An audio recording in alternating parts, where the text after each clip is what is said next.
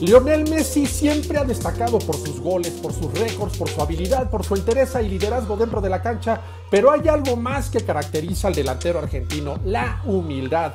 Messi orquestó la goleada del Barcelona 5-1 a Lyon para lograr el boleto a los cuartos de final de la Champions League, resultado con el que también impuso marcas importantes, de esas que valen la pena presumirlas. Pero Leo hizo una pausa para elogiar la proeza de otro futbolista y también en la Liga de Campeones de Europa. Se trata nada menos que de Cristiano Ronaldo. ¿Escucharon bien? Según el diario Marca, Messi se refirió al hat-trick de CR7 que hizo este martes al Atlético de Madrid en el triunfo 3-0 de la Juventus, resultado que colocó a la bella señora en los cuartos del torneo continental. Lo de Cristiano y de la Juventus fue impresionante. Pensé que el Atlético iba a ser más fuerte.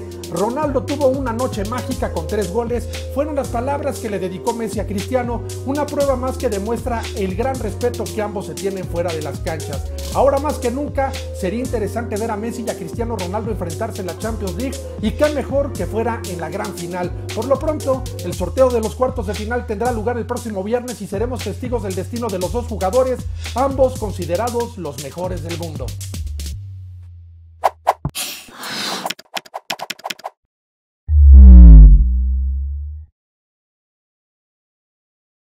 Ya que nos encontraste, no nos pierdas. Suscríbete a nuestro canal de YouTube de Telemundo Deportes.